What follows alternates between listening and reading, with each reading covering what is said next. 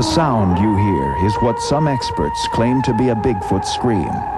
Recorded in the state of Washington by a group of campers in 1971, it is regarded as the highest quality audio of the creature ever captured.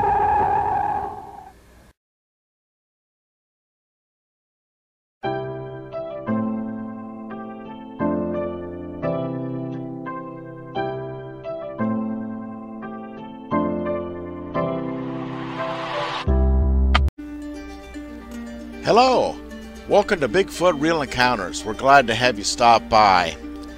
We'd also like to take this time to invite you to share your encounter. You can send your stories to the email bfrealencounters at mail.com, where we will feature your story with all of the respect that it deserves. So send your stories in bfrealencounters at mail.com. We look forward to hearing from you and your great stories soon.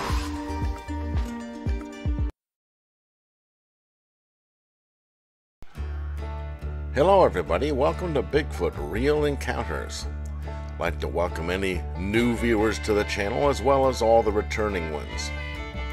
Thank you so much for clicking on this video. I do have an announcement to make. I have started a private group on Facebook. It is called Bigfoot Anonymous. Now, the purpose of this was inspired by listening to Facts by How to Hunt, Steve Isdahl's channel. One of his viewers uh, emailed him uh, with one of his encounters, and as uh, Steve does, he was reading it. And the gentleman mentioned that uh, he wished that he could meet with others who have had encounters and sit and talk back and forth with other encounterees, maybe, shall we say? Maybe I coined a new term there. I don't know. But anyway, you, you, get the, the drift of it. He wanted to talk to others that have had encounters. And Steve suggested to have added in the comments section on his videos. And that's a good idea. But I got to thinking, okay, why don't I open up a, a private group on Facebook where people can do that? Now, this has uh, the ability to uh, go into chat rooms, even video chat rooms, uh, where people can get with each other and uh, discuss your encounters. The idea is to help people, okay? Now, I am not going to use this as a source of stories for this YouTube channel. Uh, one of the rules is that uh, anything that is put up on this page stays on the page. If anybody wishes to take their story any further uh, to have it publicly uh, produced, uh, or read, you know, like in this type of format, they're going to have to go outside and make the effort on their own to do that. I'm not going to take anything from this group. So that's uh, laid out in the foundation and in the rules.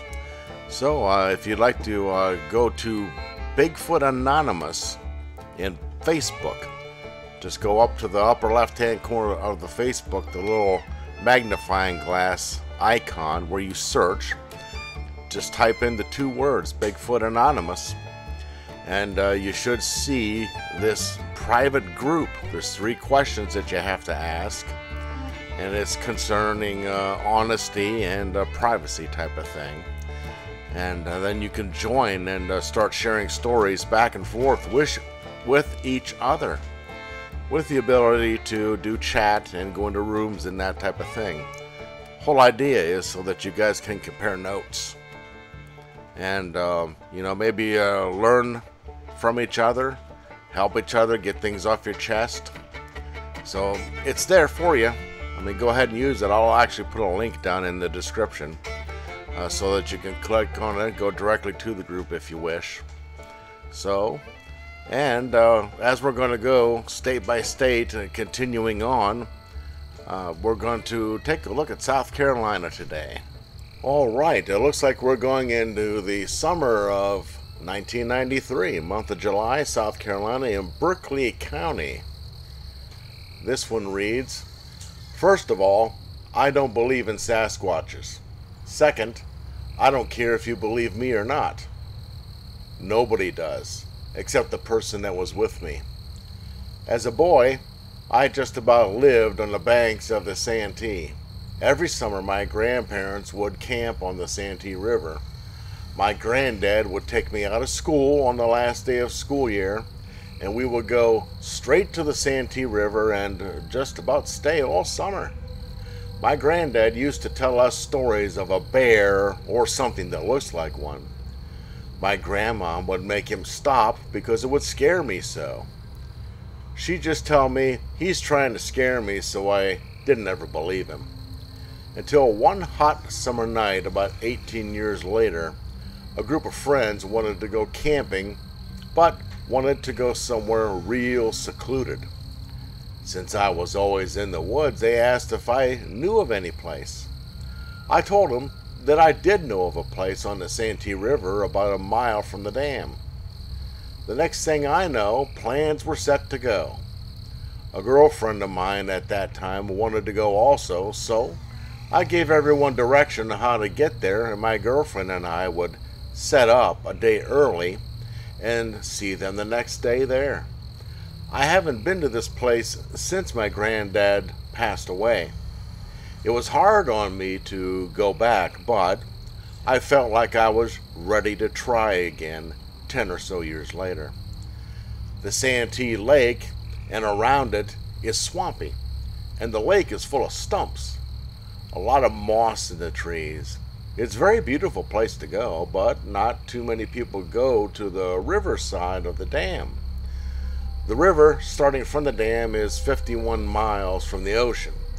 I know this because my mother caught a flounder there, and someone took a picture of it and put it in the paper. They told the story of it, and then it was 51 miles from the ocean. I know all about that river, and I know where the great swamp fox is buried way back on the river, also. Anyway, my girlfriend and I got to Wilson's Landing about 3 p.m. on a Friday. That's a bait shop just behind the dam. From there, the paved road turns into a dirt and mud. We drove about a mile back into the woods along the river to a place we used to camp. Nothing's changed one bit, except for the trash on the river. The river is at some points about 200 yards wide and a foot deep in some places. It's only 20 feet wide and 15 feet deep or so. When the water comes out of the dam, it is split in two by an island. I have never been on that island. It's very swampy and full of snakes. My uncle still hunts on it, though, as a matter of fact, this is why I'm telling this. He has heard something there and doesn't know what it is. So I told him my story, and he's the only person who did not laugh. You name it, it's on that island snakes, wild hogs, deer, lots of deer. People say they've seen bear and gators. I'm now saying there's something that walks on two legs, and it's not a bear. As I was saying, we drove way back there and started to set up camp.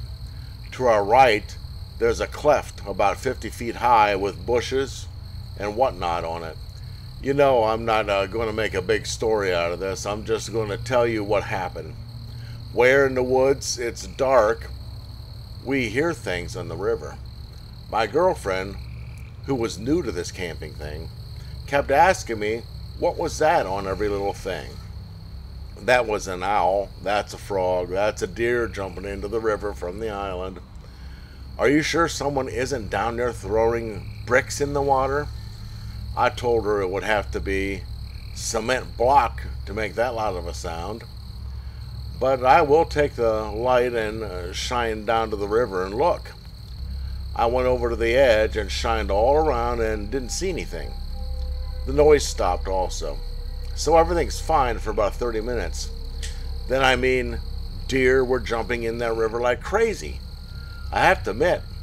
And it uh, could have been her asking all those questions. I was getting a little nervous.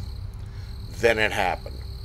Something was coming up that cleft, and I mean it was breaking branches, and you could hear the dirt falling down from the weight of it. There's no way a deer can climb that bank. It was getting closer and closer, and it didn't take but one what out of her to get me in the truck looking for my gun. Couldn't find it, and I was yelling out to her, asking, Where's my gun? She answered, I don't know, from the passenger seat, uh, but here's the keys, let's go. I jumped in, fired up the truck, and started driving out, praying I wouldn't get stuck. Not here, not now. We made it to the dirt road, and I hung a right. We left everything at camp food, tent, lantern burning, and somewhere my gun. I've never been that scared in my life.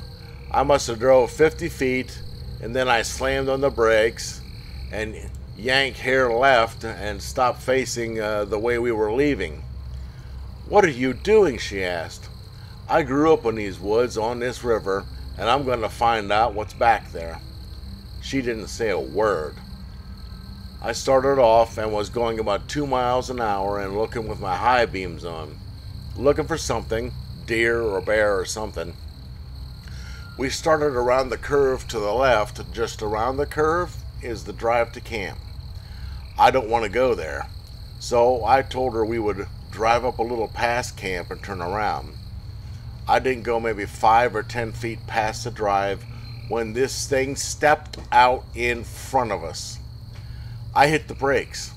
What is it? she asked. I don't know. Let me back up so I can see. All I saw at first, and she saw, was two long hairy legs. I started backing up so my lights would spot it better, since it was way too close to the truck. God is my witness and her, this was no bear. This thing was maybe seven, eight feet tall, big, hairy, and wet. It didn't stand real straight like you and me would, but more at a slump from the waist up. It had the reddest eyes I've ever seen, and it just looked at us, frozen, looking, not moving at all, just standing there. Oh my God, my granddad was telling the truth after all. Then it just looked to his left and leaned as his legs started to turn then the other taking about three foot stride until it was out of sight, gone into the woods. This thing walked on two feet and was not a bear. Sasquatch, a hairy creature like human being, reported to exist in the northwestern U.S. and western Canada, and said to be a primate between 6 to 15 feet tall, called also Bigfoot. Hello, I live in South Carolina. I said earlier that I don't believe in Sasquatches, but how am I to explain what we saw? One night, that changed me and her forever. The next day, we saw those footprints, and they were bigger than mine. I saw the cleft and all the broken branches and the dirt that was dug out from it. Nobody will believe me when I tell this story, but that's okay. I don't care. I know what I saw, and that's that. This was seven years ago, and the only reason I'm thinking about it now is because of my uncle who was telling me something last night. Something he heard in the swamp woods on the island of the Santee River. We also noticed, it could have been just the area, but we smelled an awful smell like dead fish or animal it could have been just a change in the wind from the river. A lot of times when the river drops, fish get stuck in the pools on the rocks. The water dries out and the fish die and stink. I don't think much of it. I couldn't smell anything on the road with it standing in front of me because the windows were up. Well, that's quite a story. My goodness, it's uh, actually very scary. And uh, one thing that I like about this is uh, he didn't really believe in it and uh, he, he's went and told it anyways. He doesn't care if people believe him or not now, and uh, that's one thing that I'm trying to get across to folks. If you've had an encounter, don't worry about what people think. You get the story out there; it'll help you if you've had a negative effect. Telling it seems to help people, so go ahead and tell your story, whether on my channel or somebody else's. Just get that story out there. Also, it gives us other details that we can uh, look into that gives us a better picture of uh, what these uh, beings do, how they do it, and how people react, how they react, and all those things. So we're glad to have this. And if you happen to be listening to this and this is your encounter, you read this report, I would love to hear from you. Perhaps you have some additional information, and maybe also uh, you have a story from your uncle who heard something about that island and stuff. And uh, maybe you'd like to get that out to the public. We can help you that, and we share your story. bfrealencounters at mail.com. Once again, before I go into other stories, I'd like to encourage you to send in and share your encounter. Also, like, share, subscribe. Check out the links in the description below. Jeffrey Lilly's new book has been uh, published. It's down in the in the description below. It's Bigfoot and Stellar's Jay's Day at the River. It's a book written for children. I have uh, had the opportunity to read it before it was published. Uh, Jeffrey emailed uh, the text to me. I highly recommend it. I do. It's a very good book. Jeffrey's a good author. I'll put uh, a banner up here in the upper right hand corner of the video that you're watching so that you can check out my videos on Jeffrey Lilly's stories.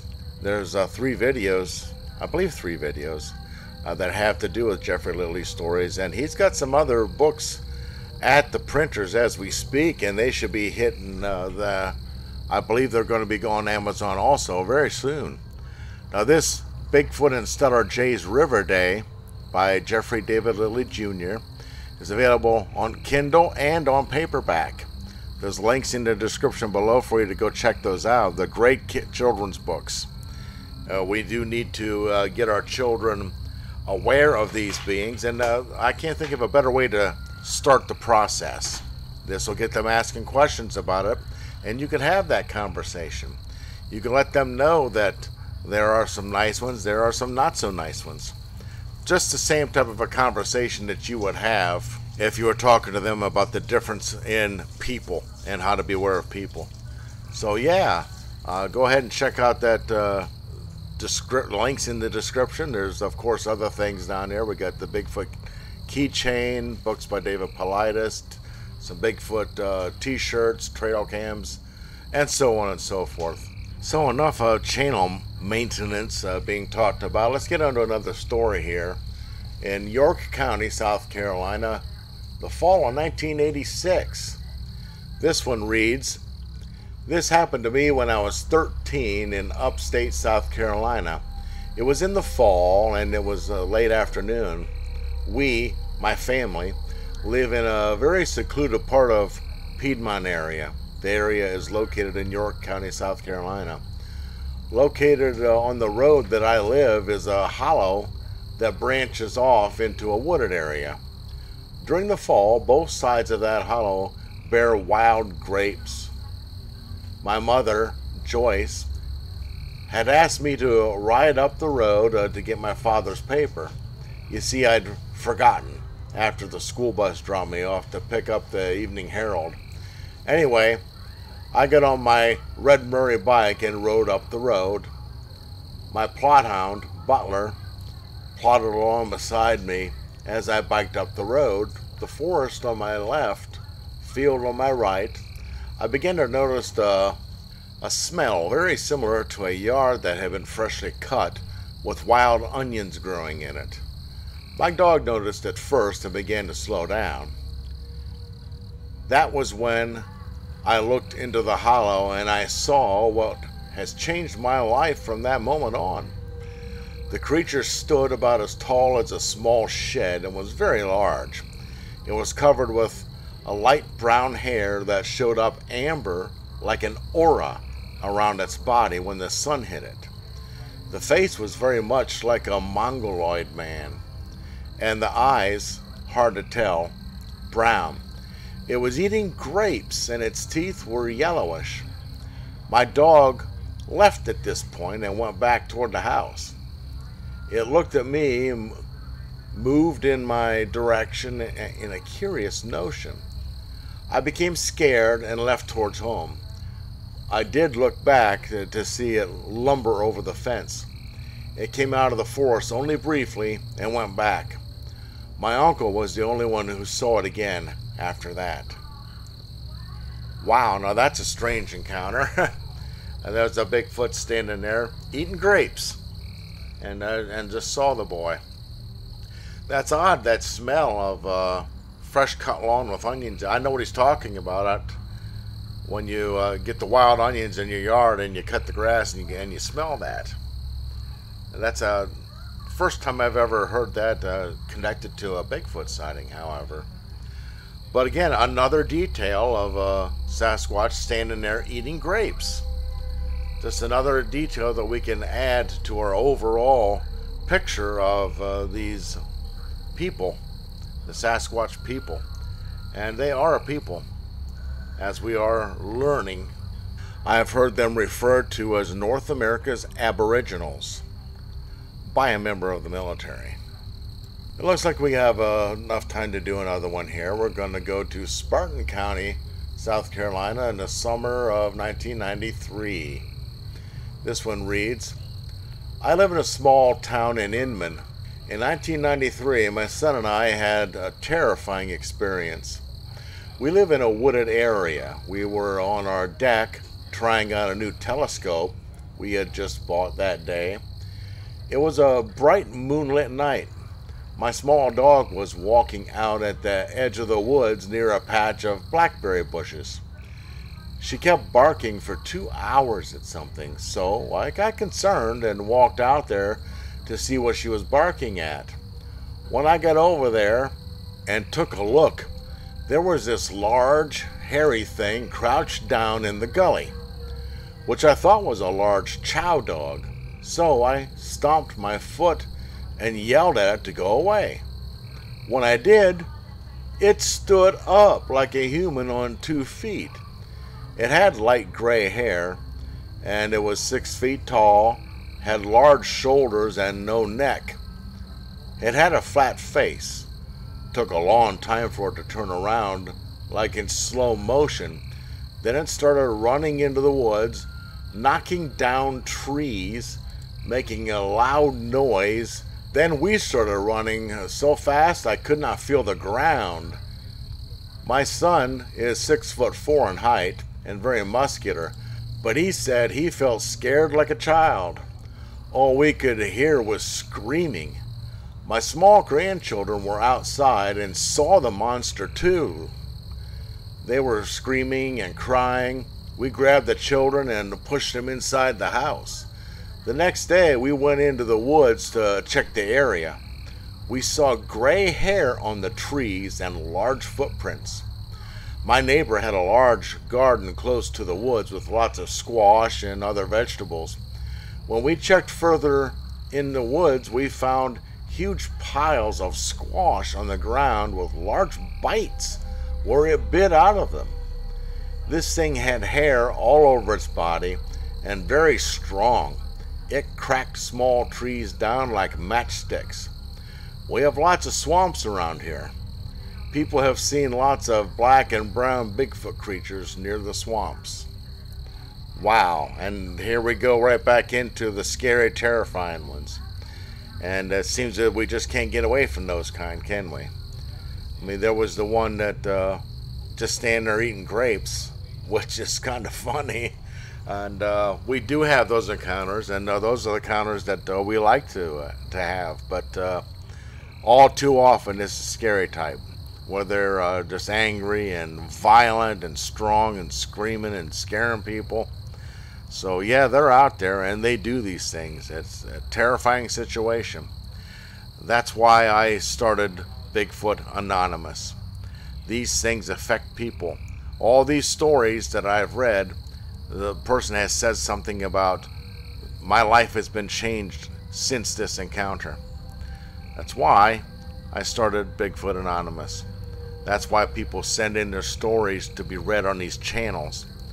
They have stated over and over on uh, Dixie Cryptid and uh, How to Hunt, all these other channels that I'm personally uh, love to listen to, that they're glad that they got it off their chest. They wrote it down and they felt better, and they send it in, and uh, these hosts read their encounters, and it helps these people.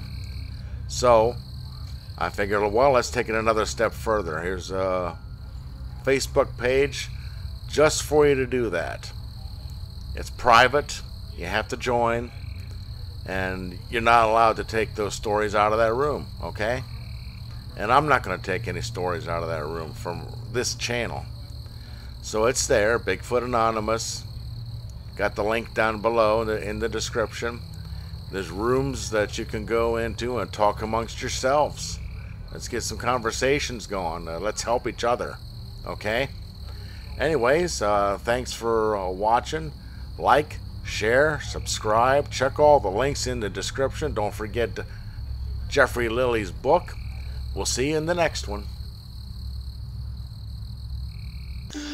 Once again, another great story. Thanks for tuning in. Please share your encounter. Email us bfrealencounters at mail.com. Your story is very important. We will treat it with the respect that it deserves.